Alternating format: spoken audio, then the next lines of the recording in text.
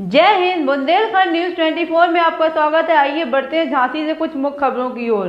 प्रेमनगर थाना क्षेत्र के अंतर्गत मोहल्ला तालपुरा में दो दबंग युवकों द्वारा एक महिला की इतनी बुरी तरह से पिटाई की गई कि वह बेहोश हो गई।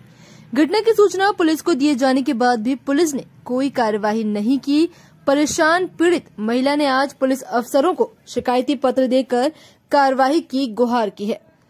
तालपुरा प्रेमनगर में रहने वाली रानी ने वरिष्ठ पुलिस अधीक्षक को शिकायती पत्र देते हुए बताया कि गत दिवस बच्चों को लेकर उसका पड़ोस के दो लोगों से विवाद हो गया था। इस पर विपक्षियों ने उसकी बुरी तरह से पिटाई की, जिससे वह घायल हो गई और बेहोश होकर गिर पड़ी। बाद में उसका उपचार अस्पताल में हुआ। घटना की लिखित सूचना उसने बिजौली चौक पुलिस को दी, लेकिन पुलिस ने कोई कार्यवाही नहीं की। प्रार्थना पत्र में उसने हमलावरों के खिलाफ कानूनी कार्यवाही किए जाने की गुहार की है। रानी आज कहाँ ही हो आप? एसपी के ऑफ़िस। क्या हुआ आपके साथ?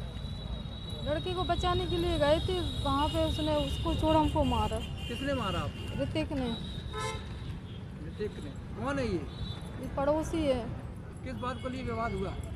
दोनों बच्चे लड़ रहे थे इसलिए उसको छुटाने गए इसलिए मारा हमको उसको छोड़ हमको फिर आप थाने गई क्या हाँ थाने गए थे वहाँ पे सुना नहीं किसी ने। अब आप क्या चाहते हैं? यही साथ चाहते हैं कि उसको बस सबक मिले और कुछ नहीं।